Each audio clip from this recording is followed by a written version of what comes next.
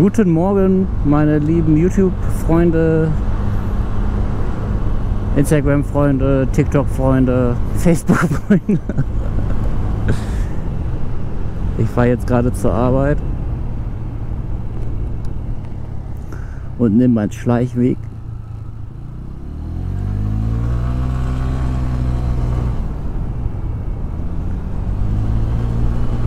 Weil letztens, ähm, also wenn ich ins Fitnessstudio fahre, muss ich die eine Ampel da hinten nehmen. Die hatte ich mal gezeigt in einem Video. Und äh, das war gestern oder vorgestern. Auf jeden Fall stand ich mindestens, mindestens sieben Minuten an dieser Ampel. Ich stand sieben Minuten an dieser Ampel und das tue ich mir nicht mehr an. Weil wenn es ganz doof läuft, ja, und ich jedes Mal, wenn ich da stehe, sieben Minuten meines Lebens verliere, wegen dieser Ampel da vorne, dann muss ich mir was überlegen. Eine Lösung so dass, dass ich diese Ampel umgehe. Es gibt Ampeln, da steht man eine Minute, ist okay, zwei Minuten, aber diese eine Ampel geht gar nicht, geht gar nicht. Weil äh, diese Ampel äh, für eine Nebenstraße ist im Grunde und die Hauptstraße hat natürlich 100.000 Jahre grün. Das ist so das Problem. Ja, ich wollte heute ein kleines Status-Update geben äh, wegen Führerschein, äh, Theorie. Ich bin mit der Theorie komplett durch. Ich habe alle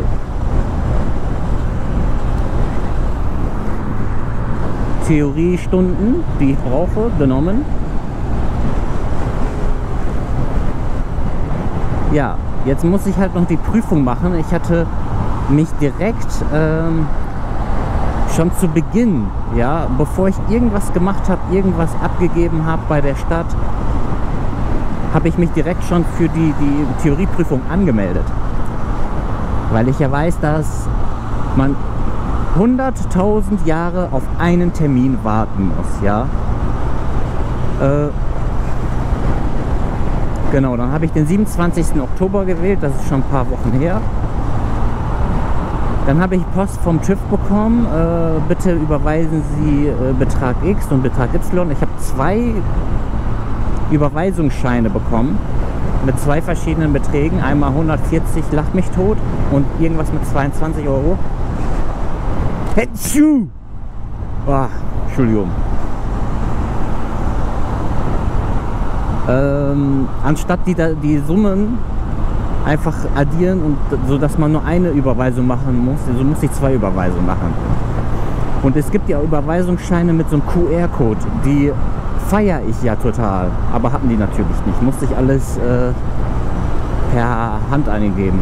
Mit dem QR-Code einfach einscannen und der macht die Überweisung, übernimmt alle Daten automatisch.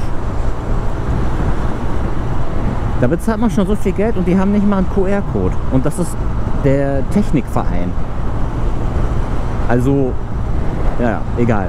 Ähm, dann habe ich natürlich, dann stand auf diesen TÜV-Bescheinigungen, Überweisungsschein, stand drin, dass ich erst mindestens 14, also frühestens 14 Tage nach äh, Überweisung, nach Online-Banking äh, einen Termin machen kann. Warum? Weil die das einbuchen müssen und dann zuordnen müssen, dass ich das auch bezahlt habe. Bürokratie halt. Ja, damit die sehen können, ah, okay, der hat bezahlt. Wenn ich hinkomme, checken die das ja vermutlich. Und dann habe ich mich gefragt, warum dauert das alles so unglaublich lange in Zeiten von Digitalisierung? Warum dauert das so lange? Warum muss man 100 Jahre auf einen Termin warten? Warum kann man erst vier, frühestens 14 Tage nach Überweisung ein Termin, äh, die Prüfung machen? Warum? Das Einzige, womit ich mir das erklären kann, ist Personalmangel und Bürokratie. Wenn man die Bürokratie extrem vereinfachen würde und wenn man endlich mal einfach ein paar mehr Leute einstellen würde, ja, dann ähm, gäbe es das Problem nicht. Und es gibt Leute, die äh, äh, arbeiten wollen und die Voraussetzungen erfüllen für den TÜV, aber die werden nicht eingestellt. Ja, die werden nicht eingestellt und dann hat man Personalmangel und dann muss man zum Beispiel auch für die praktische Prüfung 100.000 Jahre auf einen Termin warten. Ja? Verstehe ich nicht. Verstehe ich, verstehe ich absolut nicht. Naja, auf jeden Fall ist das jetzt so, ähm, es gibt halt beim TÜV, man kann online Termine machen, man kann, also man kann telefonisch Termine machen, man kann aber auch online Termine machen. Ähm, bei Online ist das, hat man den Vorteil, dass man auch kurzfristige Termine, wenn jetzt zum Beispiel jemand absagt, dass die dann dort angezeigt werden. Man muss aber regelmäßig gucken. Und man muss schnell sein, weil andere sind auch schlau und gucken auch und äh, besetzen dann die Termine. Deswegen äh, gucke ich jetzt aktuell mindestens dreimal am Tag, morgens, mittags, abends. Ja, auf jeden Fall kann man sich online dann den Ort aussuchen. Man gibt die Postleitzahl ein und dann werden einem Orte vorgeschlagen, wo man die Theorieprüfung absolvieren möchte. Dann kann man sich da was aussuchen, wenn halt ein Termin frei ist.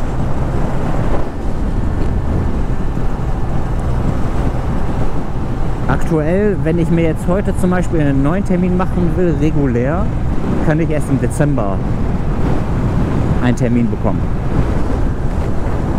Und das ist krass. Das ist wirklich krass. Also ich will mich nicht, nicht zu weit aus dem Fenster lehnen. Ich kenne die äh, Strukturen äh, dort nicht, die Prozesse kenne ich nicht. Ich weiß nicht, wie das da abläuft. Aber für einen Termin dauert das zu lange. Hat man, das hat man sonst nur beim Arzt gefühlt, wenn man äh, gesetzlich versichert ist. Ich bin gesetzlich versichert und ich wollte letztens einen Termin haben bei irgendeinem Facharzt, ja. Leute, ähm, das ist so krass. Ich musste sechs Monate auf einen Termin warten. Sechs Monate. Dann habe ich aber eine Kollegin, die ist äh, privat versichert, die hat auch beim, bei, äh, bei äh, bei dem Facharzt äh, einen Termin vereinbart. Das hat keine Woche gedauert. Ist das nicht zum Kotzen? Finde ich, finde ich, ganz ehrlich, finde ich scheiße. Tut mir leid, dass ich diesen, ich benutze das Wort nicht so oft hier, aber das finde ich scheiße. Was macht denn ein Mensch, der wirklich Hilfe braucht auch und gesetzlich versichert ist und erst in sechs Monaten einen Termin kriegt?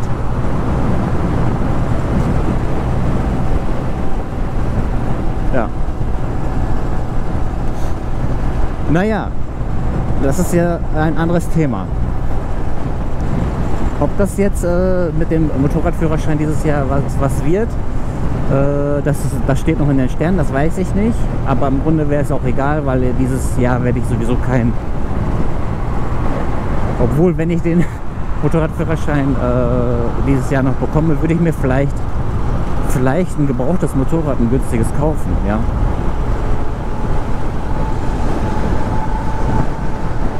Oder vielleicht auch mich ein bisschen durchtesten, ja. Aber ja, der Winter steht vor der Tür, das ist so cool. Dann hat noch ein anderer kommentiert, ähm, diesen, auf diesen Kommentar wollte ich definitiv eingehen. Er hat geschrieben, äh, mach doch mal wieder äh, irgendwie Roller oder 50 Kubik, Mofa, sowas äh, weil ich ja quasi meinen Kanal damit angefangen habe oder mein Kanal darauf beruht. Und äh, er hat dann auch geschrieben, es wird mehr und mehr zu einem äh, Motorradkanal, äh, wie so viele andere und das fände er schade. Danke für deinen Kommentar. Das ist auch absolut berechtigt, dass du das so schreibst und das entspricht ja auch der Wahrheit. Aber ich sage ganz ehrlich, ähm, man, macht, man macht ja einfach auch eine Entwicklung durch. Und ich will vorab sagen, Roller ist für mich nicht gestorben und das ist immer noch ein Rollerkanal. Das ist ein Zweiradkanal. Ich habe ich hab alle zwei Räder, finde ich geil. Ich finde Roller geil, geil. Ich finde 50 Kubik cool. Ich finde Mofa cool. Ich finde Motorrad cool. Ich finde ich find alle zwei Räder cool. Und ich werde mir auch wieder 50 Kubik holen. Ich gucke sogar aktuell nach einer günstigen. So eine Bastelbude, dachte ich mir, wollte ich holen. Ähm, deswegen, also Roller ist äh, nach wie vor ähm, bei mir ganz oben dabei, weil ich finde diese 50 Kubik Roller nach wie vor richtig geil, weil sie sind günstig, sie sind unproblematisch, sie sind unbürokratisch, sie sind günstig, Ersatzteile sind günstig und so weiter. Es gibt nichts günstigeres als 50 Kubik und unkomplizierteres als 50 Kubik. Es ist einfach so. Oder Mofa. Aber bei mir ist jetzt aktuell halt Motorrad. Ich mache jetzt gerade den Motorradführerschein und so weiter. Und deswegen kommen jetzt vermehrt solche ähm, solche Inhalte.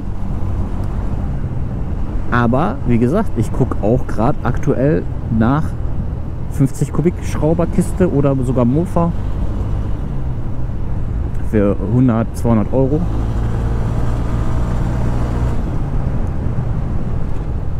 Ah, noch geschafft.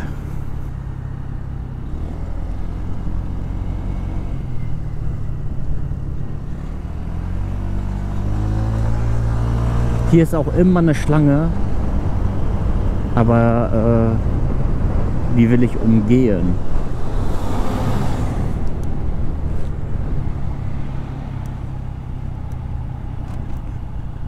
Ja, hier ist die Deutsche Freiheit.